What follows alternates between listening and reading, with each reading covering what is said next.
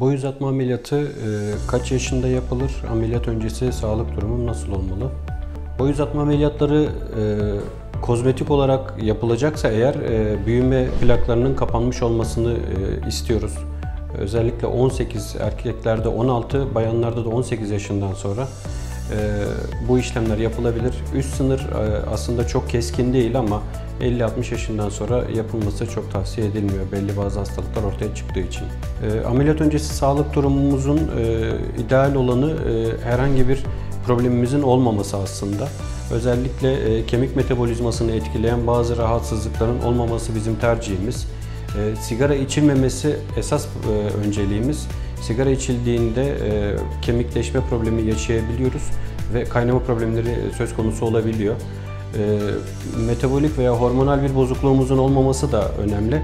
Çünkü e, kırılan bir kemiğin tekrar iyileşme potansiyeline sahip olması gerekiyor bu bacağın uzaması için.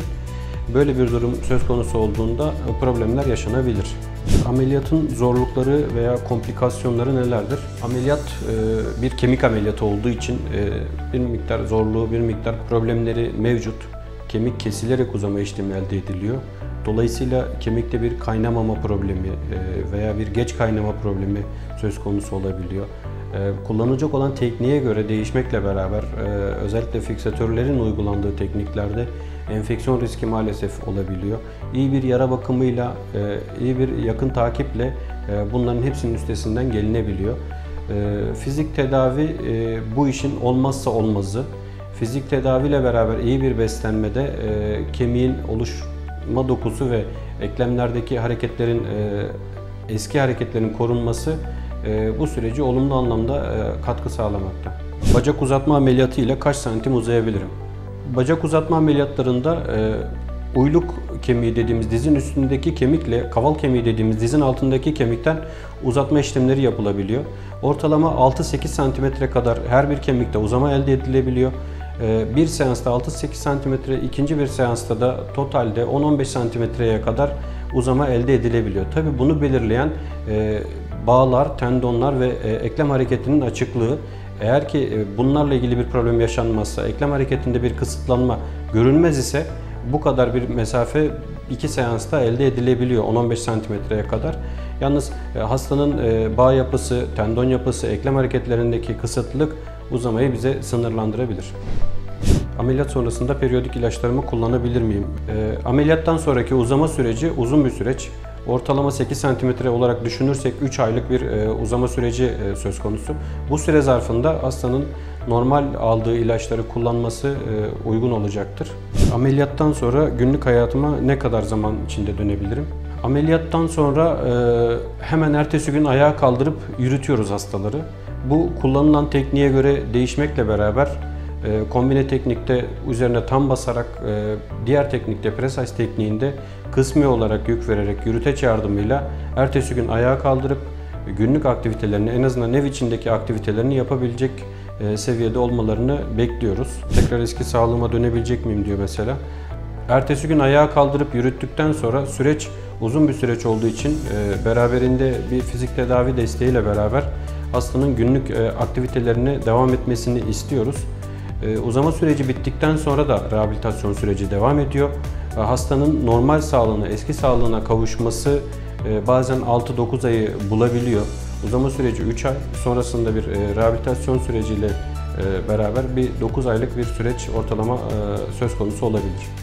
Bacağımda yara izi kalır mı? Bu soruda tekniğe göre iz bir miktar değişebiliyor. Kombine teknik yapılırsa eğer fiksatörle uzatma işlemi yapılırsa bir miktar iz söz konusu oluyor. Precise tekniğinde biraz daha kozmetik ve iz avantajı var.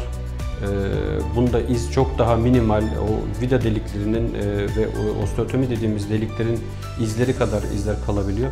Ama hangi teknik yapılırsa yapılsın sonrasında yapılacak olan minimal cerrahi işlemlerle bu yara izleri, bu sıkar izleri en minimale indirilebiliyor. Ameliyat sonrası hangi tedavi programları faydalı olur?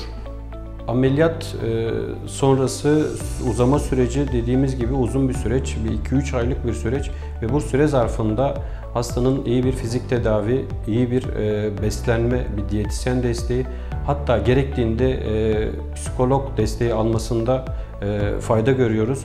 Bu üçünün özellikle kombine edildiği durumlarda hastanın e, tedaviden alacağı e, başarı oranı çok daha maksimuma çıkmaktadır. Ameliyat e, edilen bacak ameliyat sonrası yeniden kısalır mıyım? Uzamam kalıcı mı olacak? E, uzama işlemi bittikten sonra özellikle kemikleşme elde ettikten sonra zaten o içerideki uzama materyali sonlandırılıp çıkarılabiliyor.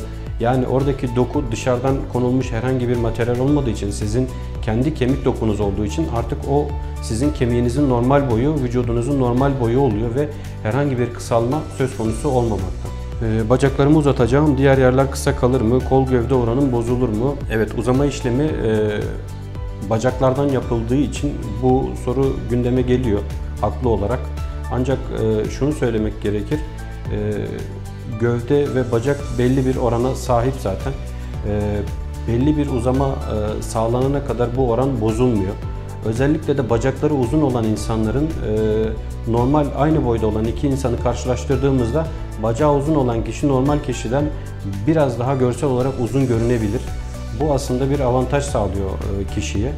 O yüzden e, oranı bozmayacak şekilde bu bahsettiğimiz 8-10 cm, 15 cm bu oranı erişkin bir insanda ciddi anlamda bozmamakla beraber daha uzun bile gösterebilir.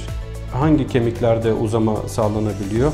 Sadece bacak kemiği değil, kol hatta ayak tarak kemiklerinde bile uzama işlemleri, uzatma işlemleri yapılabiliyor.